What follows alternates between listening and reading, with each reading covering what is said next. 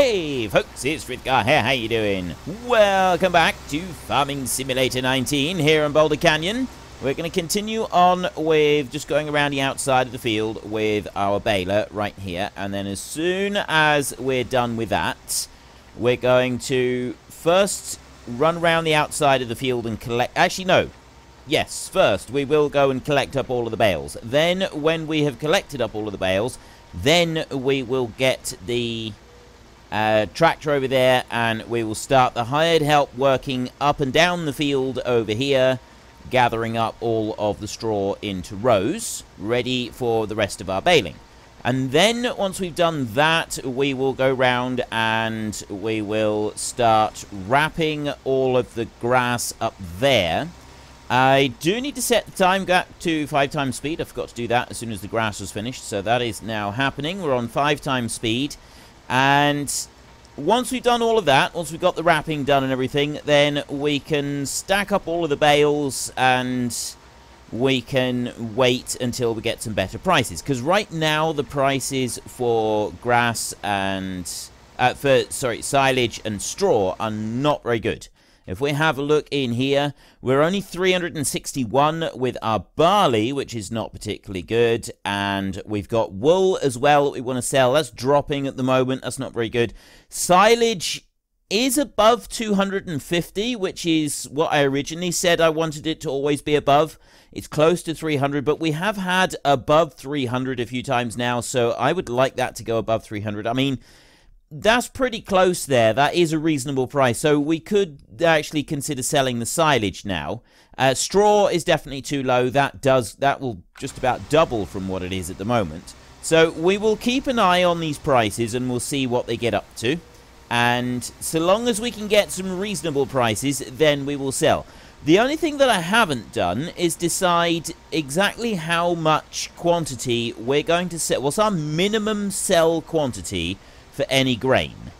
Um, I was thinking that we would we would get a bigger trailer and we would only sell full trailer loads, and that would be it. We wouldn't because like I, I just want to show you. I, I know that a lot of you don't actually like me doing this, going and looking in here. You want me to keep going and talking, and that's fair enough. And I do agree I should keep going and talking. However, I do need to have a look at this. Uh, that one right there is forty-five thousand liters. And I think that would be a really good round number to use. We've got a few other trailers here. We can't use those. They're unacceptable ones. We've got ones for the truck over here, which could be a bit better using one for the truck. And there's one right there. That's 60,000 litres, but it's 80 grand for the trailer. And that one's 78. That one's 74. These are very, very expensive trailers. And not sure that we can afford them. That one there, though, is only 35,000 and it's 45,000 litres. And I'm sort of thinking that if a lorry was to come up, it wouldn't be unusual for a lorry to turn up with several um, trailers like that. It could have three or four trailers like that, all in a line. And that would... Now, I don't get... What's the difference between these two? They both hold the same amount. Design one. That's... Wheel setup. Okay, that's that's just the different wheels. I'm I'm not quite sure. We've got three sides here. It's a bit lower there on the sides, and it's a, a smaller one. Uh, this one here, I think it's just because it's got solid sides. So it, it's solid all the way round. This would be ideal for putting grain into. And it's 35,000. Yes, 35,000 is a lot of money, but that's it does seem pretty good. That one there is 42. We got a 34. Um, another 34,000 there, and then we, we've got a few other optionals here. But the price of the trailers is quite high. Like that one there at 48,000 is 61,000 for the trailer, which is a huge amount of money. Right? All of these are very, very expensive. And so I'm I'm kind of wanting to weigh up between the two. Now the only other thing I was thinking is maybe one of these, but again, it's still very expensive for what we're getting. So I'm thinking overall that the best price that we could get for volume so that we've got a trailer that we can sort of basically measure stuff out and tip um, would be one of these. and I could see a lorry coming up from the lowlands, coming up here into the mountains in order to take these away.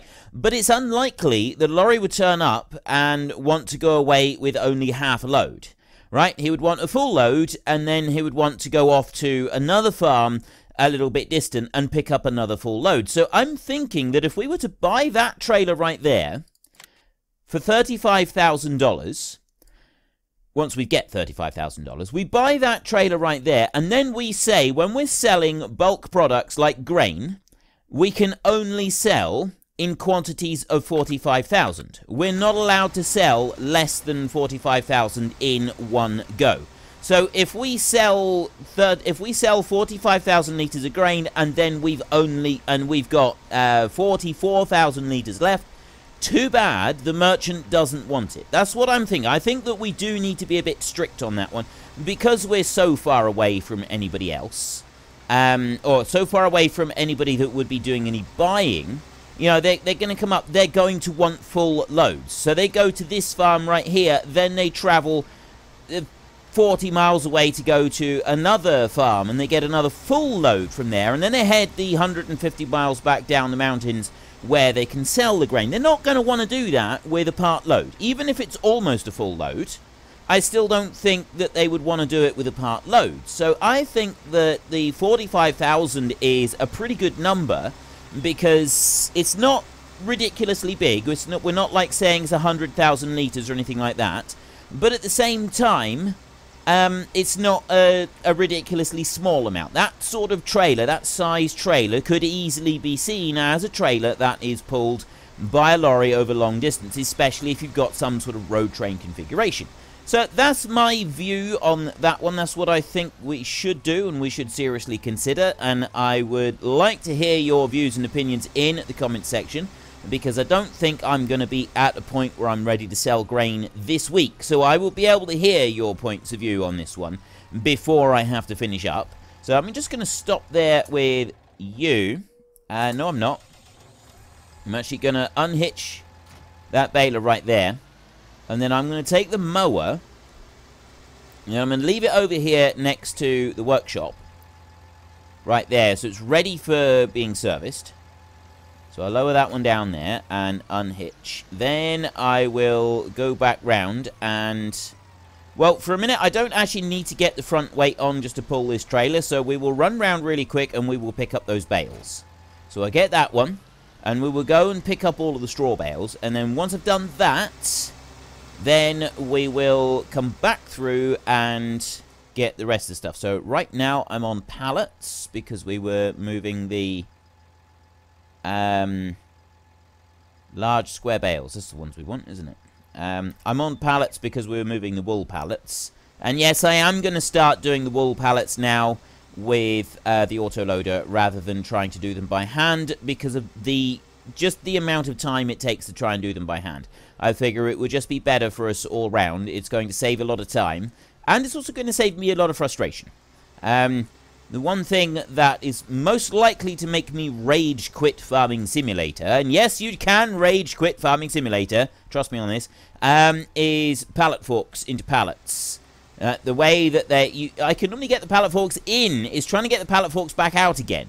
Right, that's invariably causes trouble for me. Invariably causes trouble, and yes, you know, I mean, even with the best will in the world, it's it still causes me some problems. So, um, yeah, I'm I'm sort of thinking that I'd like to avoid having any more issues with that. So if I can not do very much work with pallet forks and pallets, it's going to be a lot better for me. It's going to be a lot better for... I think it's going to be better for everybody. I think it's going to be better for everybody involved if we don't have that going on. Now, I'm just wondering which way I should set the um, hired help going. Because last time with the Combine, I actually put it going alongside the, the line sort of going down over that side. And we worked from that side over to this side of the field. And by doing so, it left all of the straw rows at an angle. And then when we went over it with the rake, it picked it up really nicely. So I'm, I'm not quite sure about that. Now this one here, I am going to unload these off uh, just leave them there on the trailer like that before we do any more. Now I'm going to stop. And I'm going to switch over to uh, this tractor. And we're going to start doing the raking. So we'll start you up. And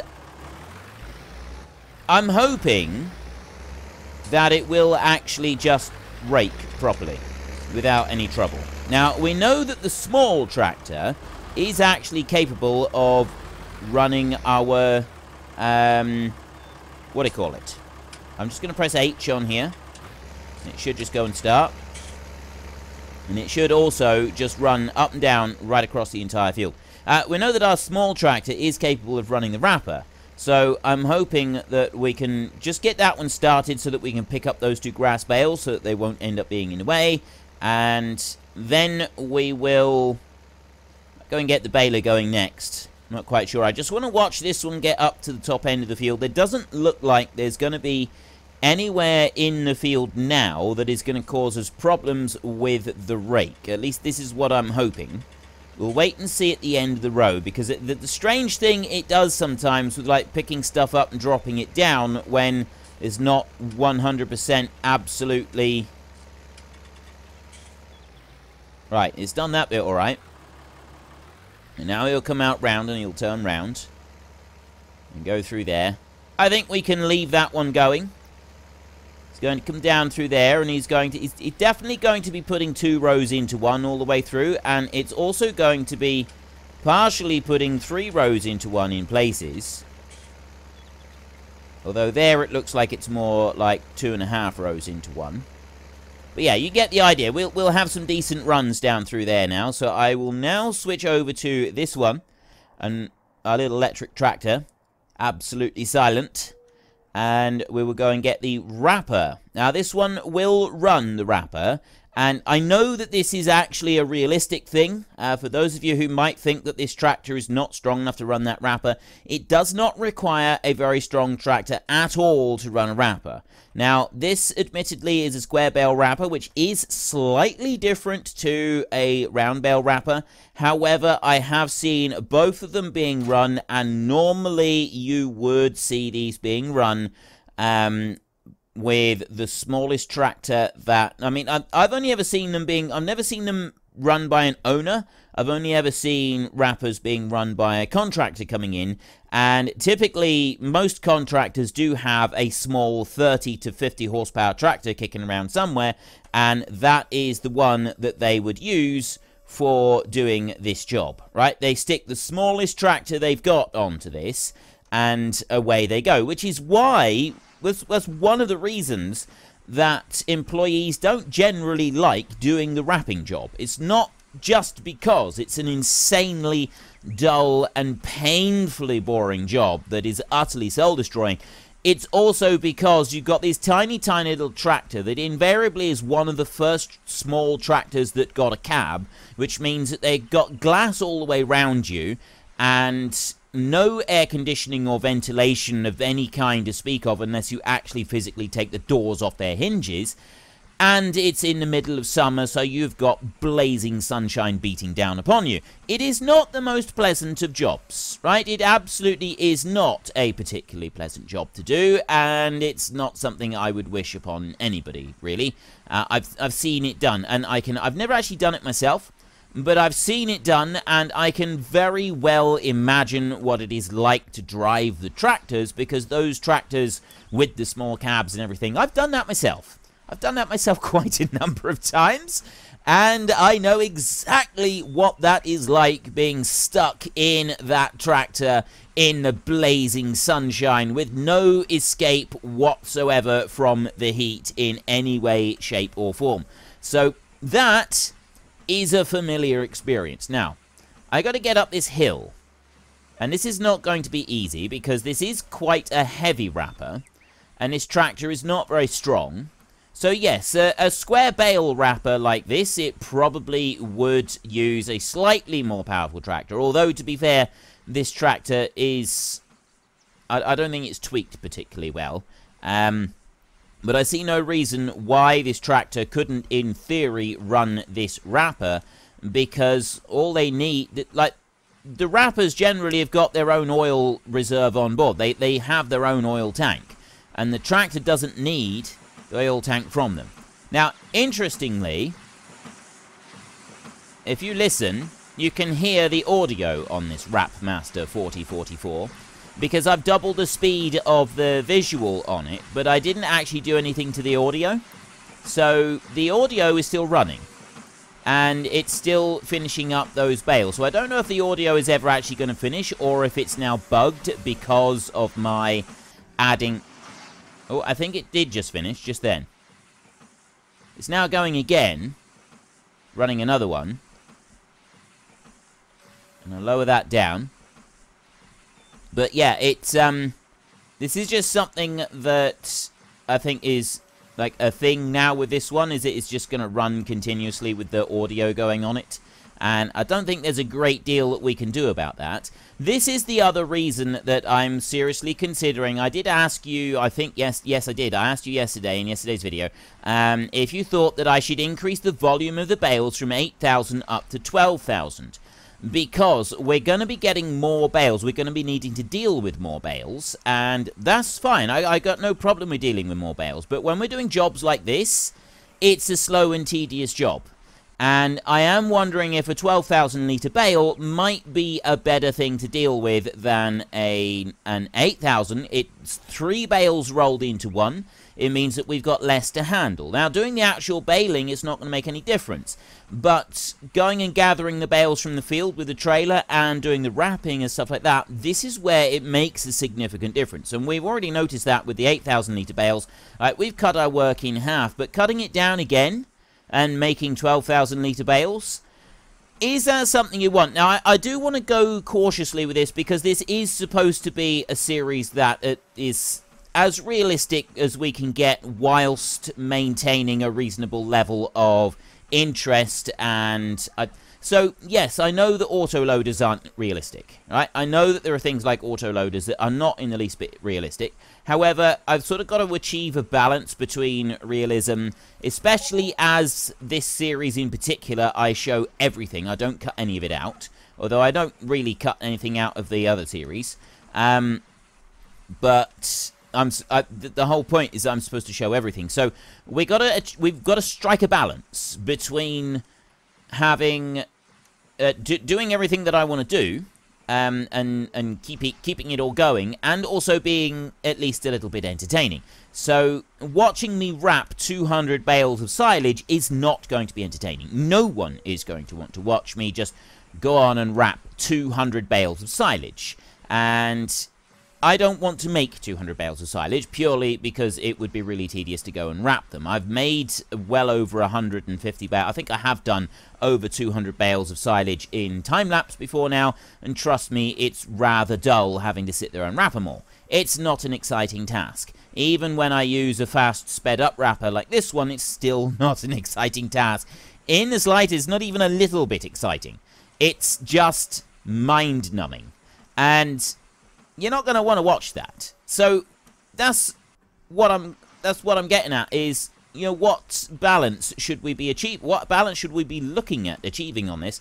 Um, is the 8000 litre bales sufficient for you? Do you think that that is about right as far as a balance goes? Or do you think that we should go up for a 12,000 litre bale? Because as we increase our grassland and that's what we're planning to do next we're going to be getting rid of those trees that's um, you know, we're going to be doing some more work on those trees. I want to get rid of all of them, and then we've got room for cows up here, and that field is going to be altogether bigger than it is right now.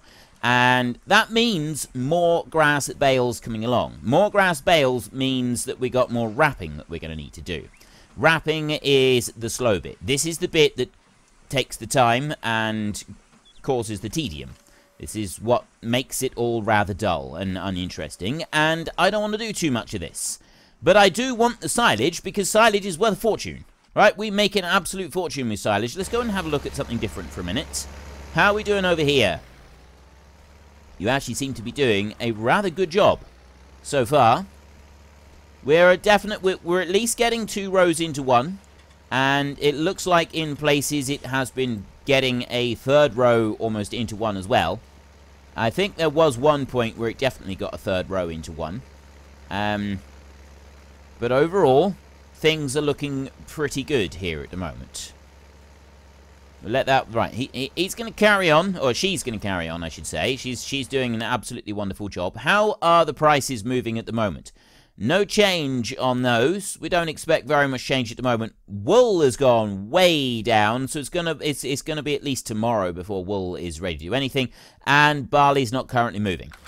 So we'll leave those where they are, and we will go back up to this one up here, which is still going through on the audio. Uh, that's to be expected. It'll do that until I shut the game down now, I should think. Um, so let's get that next one there.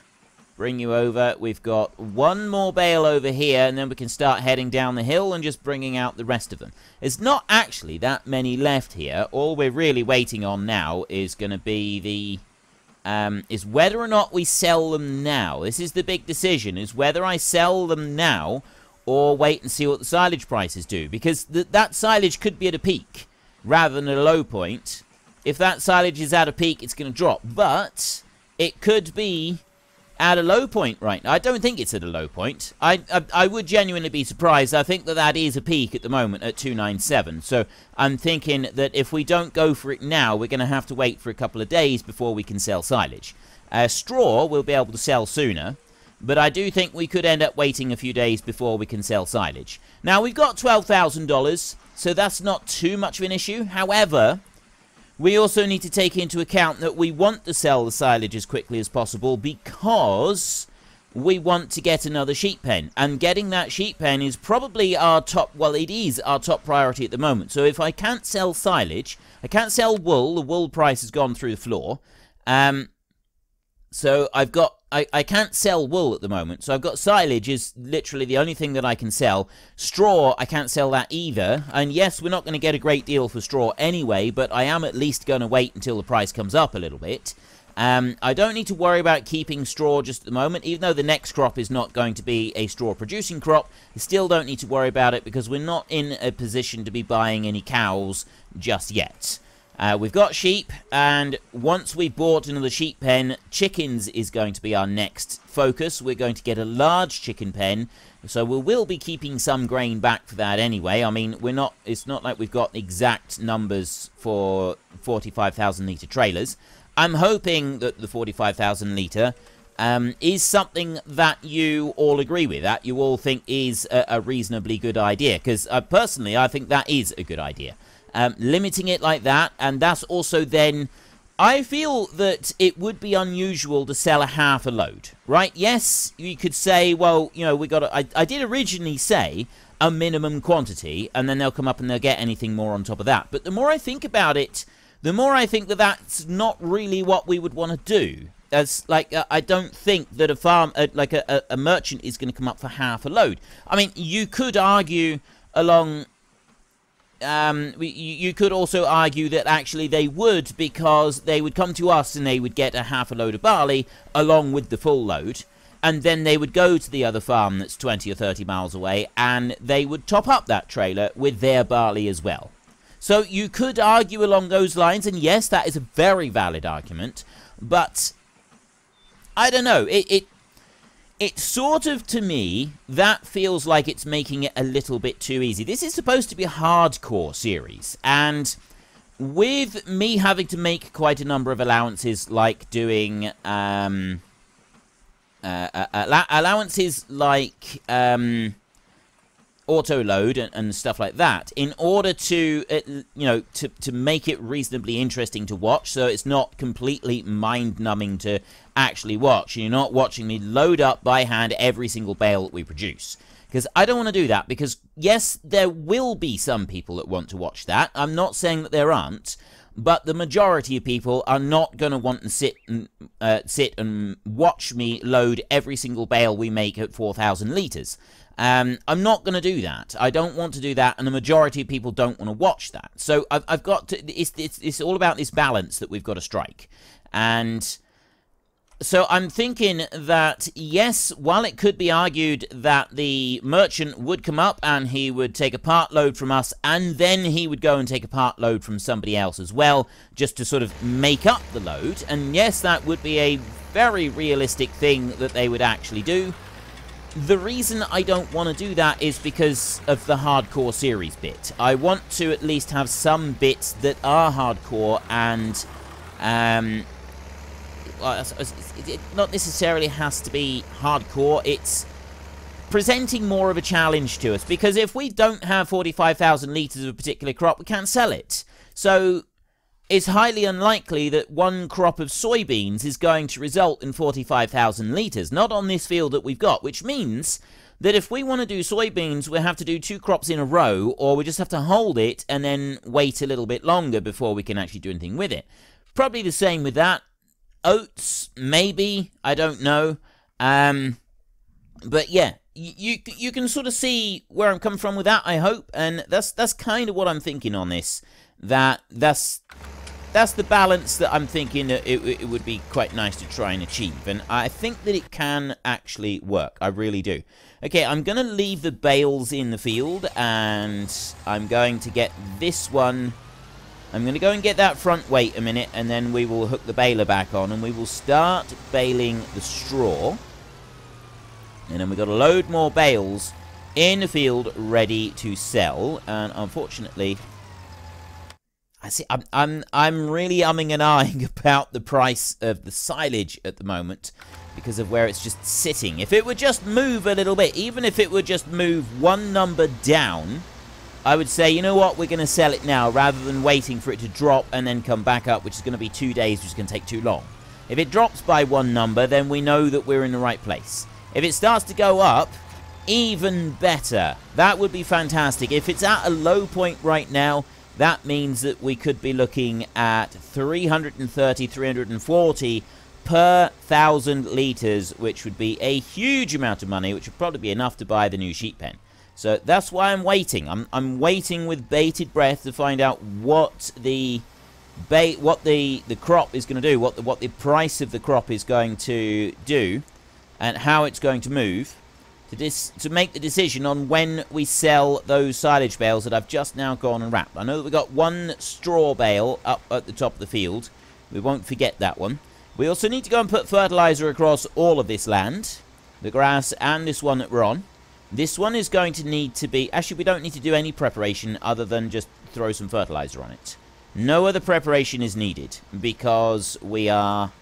Um, we've got the direct drill. So we don't need to worry about that. We will have to do more fertilizer because of the fact that we've got the, the Väderstad direct drill, but I'm quite happy with that. I'm, I'm happy with my purchase on that one because I do think that the Horsch required a little bit too much in the way of horsepower um, compared to what we've got available on this tractor right here, and we definitely can't afford to go buying another tractor just yet. I have said I'd like to mostly focus on the red stuff for this series, and I don't regret that decision, however, we do now have the CLAAS DLC. So I am wondering if our next tractor after this one, when we do buy, and we will, we will have to be buying a bigger tractor at some point in order to be able to sort of keep up with everything that we want to do. Um, do you want me to stick with the Red family, or do you want me to go for a CLAAS? Do you want me to have a look at one of the CLAAS um. I don't know if I've actually enabled the, the thingy on here, but you, you know you know the tractors are available in the CLAAS DLC now, uh, so there's no point in me going and staring at them for 10 minutes. Um, do you want me to stick with the next size up for the case, which is, that was my original plan, was to just go for the next size up on the case tractors. Or would you rather I went for the CLAAS version instead? Get that kind of power range, the next step up from this one, uh, but go with one of the CLAAS tractors instead of uh, another case. I'm happy to do either, and that's sort of what I was thinking to do for this particular series. We would go for one or for the other. Um, well, I originally said that I was going to go for the red stuff for this one. We're going to keep it all um, case machinery, uh, or case tractors anyway, um, now uh, when we're going with the new tractors. And New Holland did get quite a lot of um, love, I seen in the comments, but we're not doing New Holland. I will do New Holland at some point, but I don't want to do it on this one. Maybe after we've completed everything on here and we go for a different sort of uh, super hardcore series. And a lot of people have said they'd like to see me do a super hardcore series where I start with absolutely nothing and just go on a regular type of map and I earn my money through contracts. Do contracting work. Because I'm not going to be able to actually buy my own machinery until I've got somewhere to store it. I can't go and buy machinery and store it at a dealership, can I? I mean, I know I can technically with the rules of the game, but we kind of want to, you know, realistically, I can't do that, can I? Not realistically, I cannot go and buy stuff and then just stash it somewhere. That's not going to work. So that's another thing that we would consider for a future series. And, you know, whether we go for the uh, same sort of end result that we must have a, a set number of animals or we, we, do a different end result, I don't really know. But that's kind of what I'm thinking for the next hardcore series, and quite a lot of people have already commented about that um, previously, saying yes, they would love for me to do a different hardcore series, but um, you know, something to, based around contracting to start with, because that's obviously something that we don't do in this one at all in any way, shape, or form. And I don't want to do a next hardcore series. I don't want it to be on a forestry map. So we, we've we've got a forestry map right here, and we've done this. But I don't want to go and do the exact same thing again. It's just repeating myself. Um, it would be nice to take a different approach. So I'm, I'm kind of liking the idea of being a a contractor to start with, and essentially you're not even your own contractor to start with, you're working for another contractor because they supply all the machinery and you get a small amount of money after you've done the contracting. And I think that would be a very, very cool thing. So I would, I'm, I'm going to be on the lookout for a map because the rate that we're progressing with this now, especially once we've got those trees cut down up there, I know that we're on episode, uh, what's it? This is episode 131, this one is. Um, I suspect that we will have this all wrapped up in another, well, I was going to say three or four months, but that might be a little bit, um, over positive. Probably a bit longer than three or four months, but we'll wait and see. It will be wrapped up um, because the the end game right here is one large pen of every type of animal. That's what we got to get. Is one large pen of every type of animal. We're well on our way with the sheep. The chickens is going to be really simple. That's just 40 grand and then however much it costs to buy the chickens. Um, we've got grain now to supply the chickens. We've got grass to supply the sheep. Uh, the sheep, we're actually going to be looking for two large pens of those, and I'll probably do the same with the chickens. That's going to boost our income even further than what it is right now, which means that uh, the money is going to start pouring in, and then all we got to do is get a large pen of pigs and a large pen of cattle. The pigs is going to be the most difficult one because we've got to have all of the food available for all of those pigs. Uh, the cows is not going to be easy because they will require quite a bit. So we are going to have to buy another chunk of land and cut down a load more trees in order to be able to supply them all. But we're getting through, we are able to do that faster now. We're able to sort of work through this faster and cutting down all of those trees is going to supply us a load more money as well. So I am now just at the very beginning of putting out feelers to see what sort of map we go for next. Where is this map going to be based? I know I'm getting a lot of requests for UK-based maps because I haven't done any of them yet.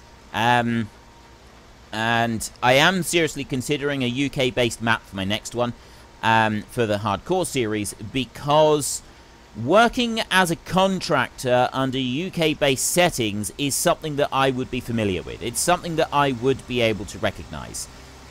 I don't know about seasons. I almost certainly won't want to use seasons on it. I know that there are a lot of fans of seasons, but I'm shying away from that purely because I'm already using seasons on my other two playthroughs, and I'm not planning to change that. The seasons is staying on the time lapse and on whatever other map I'm using at the time. Um, so I do think that we should have one without seasons so that we've got it, we strike a balance between both of them. Um, but that one I will sort of leave open at the moment. I'm not, I'm not making any commitments. But anyway, I have run out of time, so there's enough rambling from me. We'll finish up our baling next time, and then we can gather up the straw, and uh, we need to think about getting planting and fertilizing and stuff like that done. So if you've enjoyed this episode, then please hit down below and give us a like. And if you really enjoyed it, then please tell your friends all about me. Get them to come and watch as well. That would be awesome. And until next time, thank you very much for watching. This is Frithgar. Goodbye, and see you later.